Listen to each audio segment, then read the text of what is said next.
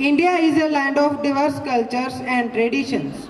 Each region of the country have their unique culture which is visible in their various art forms. All the states have their own folk music and dance. So get set ready for all the excitement and delight. Save up your energy as today we are going to catch sight of some great dances of different states. So please welcome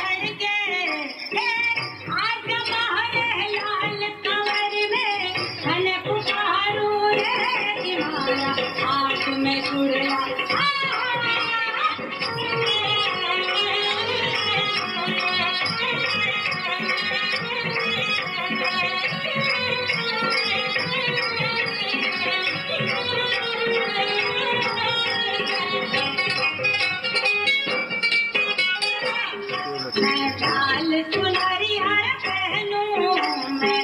लाल चुनरी हर पहनूं मैं।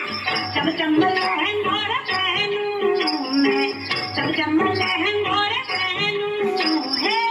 आज हमारे लाल कमर में हन पुकारू रे तुम्हारा। आज मैं चुड़ला